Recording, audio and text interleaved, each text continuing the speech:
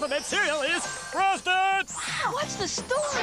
Frosted. Well, it's an Alpha-Bits blast when you sparkle and splash. Frosty crunchy letters magically.